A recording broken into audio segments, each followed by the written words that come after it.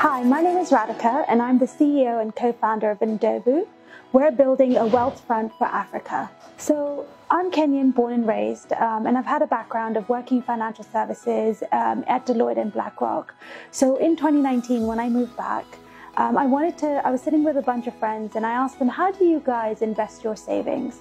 Um, and what I found was that a lot of them didn't have many options. So this sparked my curiosity and I realized that there's currently $85 billion sitting in African bank accounts across Africa.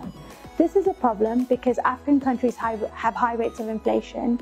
So just imagine you're saving money in your bank account, which gives you a return of 2 to 3%. And African countries on average have an inflation rate of 6%. So the least, so saving is just not good enough. You need to be investing.